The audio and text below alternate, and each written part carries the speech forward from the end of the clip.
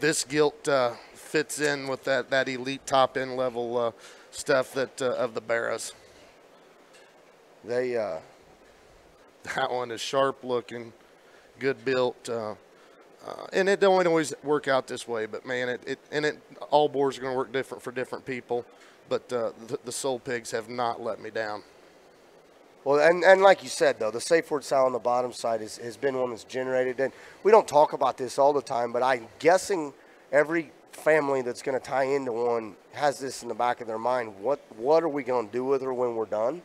Uh, I would say between that look right there and that pedigree and, and, and Mama and the things she's done on this farm, uh, return on investment shouldn't be an issue here. No, uh, if, if- you're not in the breeding. Now, if you want to sell her uh, that Louisville or, or Crossbred Classic, I think that one would uh, have a, have a tremendous amount of resale value. I might wait till Crossbred Classic. Let them barrows show uh, some of these Midwest deals before I part with the gilt. Might have a better story to tell. we like stories.